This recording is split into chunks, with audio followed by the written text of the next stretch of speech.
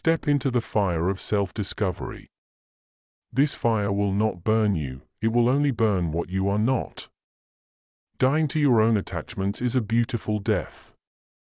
Because this death release you into real life. You have to die as a seed to live as a tree. Whatever comes, don't push it away. When it goes, do not grieve. Feelings are just visitors, let them come and go. If you make human company too important, you will not discover your true self.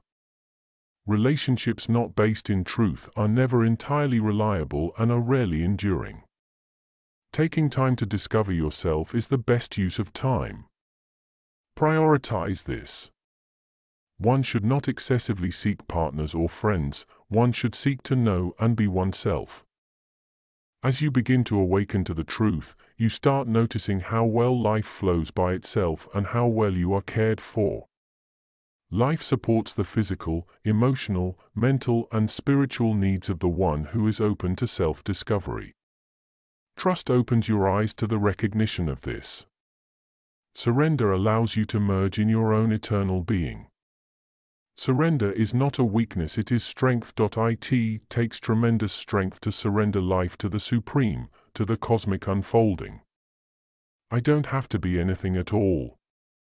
I don't even have to be myself, because there is no such thing as not being myself.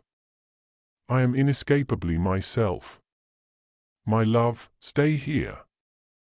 Going in search of self, as a goal, is illusion, you are already the one self. You will purchase the map, only to find you are already here. There is a presence, a silence, a stillness which is here by itself. There is no door of it, no creator of this stillness. It is simply here in you, with you. It is the fragrance of your own self. There is nothing to do about this, it is naturally present. This fragrance of peace, this spaciousness, it is the fragrance of your own being.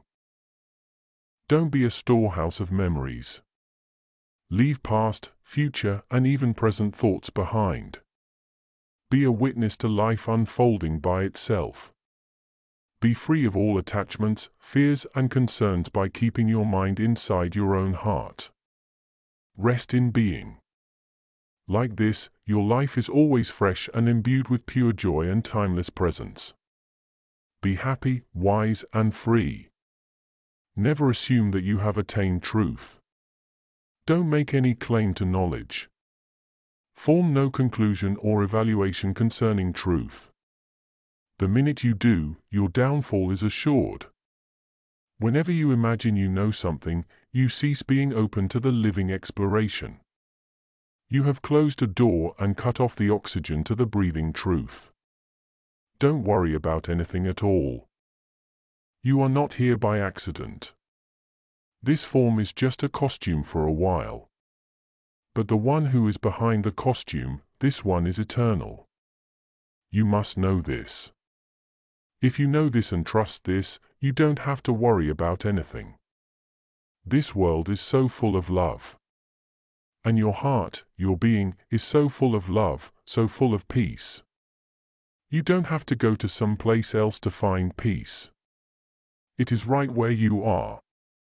You are the unchanging manifesting as the changefulness, throw everything away, forget about it all. You are learning too much, remembering too much, trying too hard. Relax a little bit, give life a chance to flow its own way, unassisted by your mind and effort. Stop directing the river's flow. Eternity is not endless time, eternity means timeless. Sometimes, grace throws you and your world into the washing machine, full spin, so that the fearful and controlling tendency is compelled to offer itself to the totality, to the will and dance of the cosmos. I come to call you home. Those who resonate with my words and follow them internally will find that place and know its completeness, its joy and fullness. I have come to call you away from suffering, from fear and from a life of sorrow and into your own, divine being. I did not come here to give you decorative stories, to excite your imagination, or sign you up for some long program, but to show you how available truth is, and to remind you that you are never separate from it. No person on this planet is apart from the truth in the heart, and yet the world is so vast and varied in expression. The greatest good and greatest evil is here. In this forest of duality and complexity you must find your way home. You must win yourself back.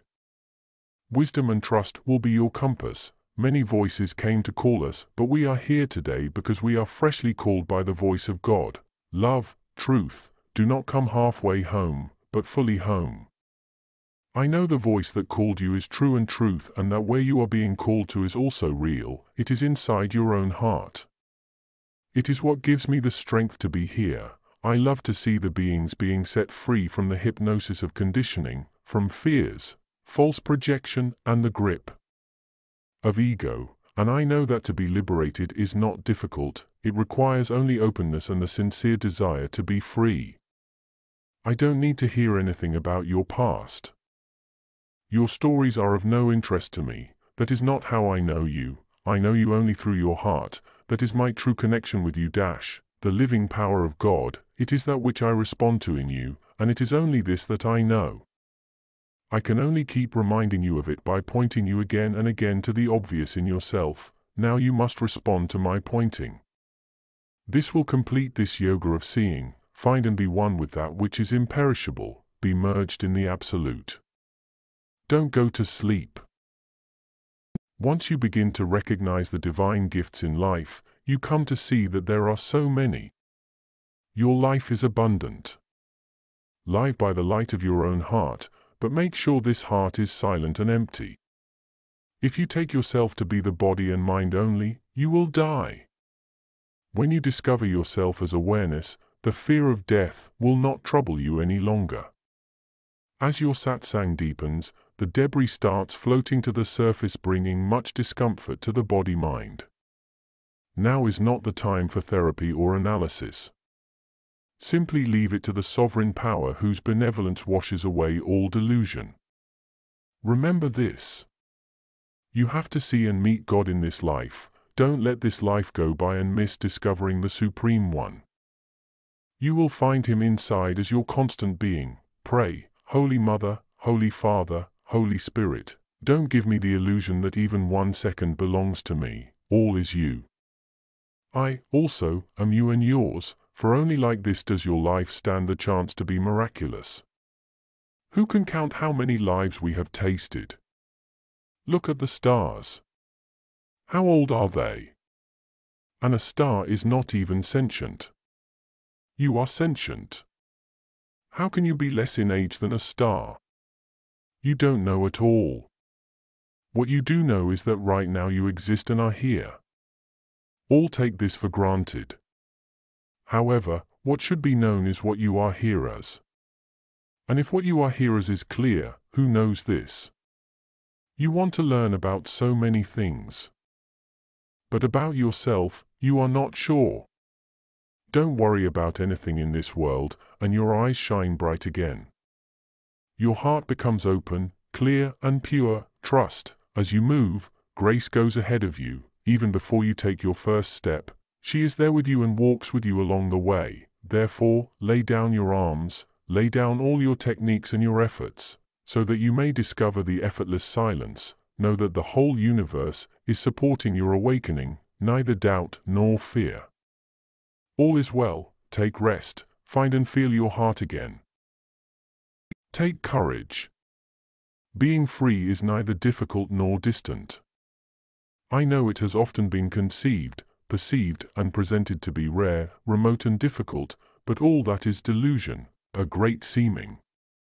I don't know why awakening happens in one heart so completely and in another there is some delay or postponement.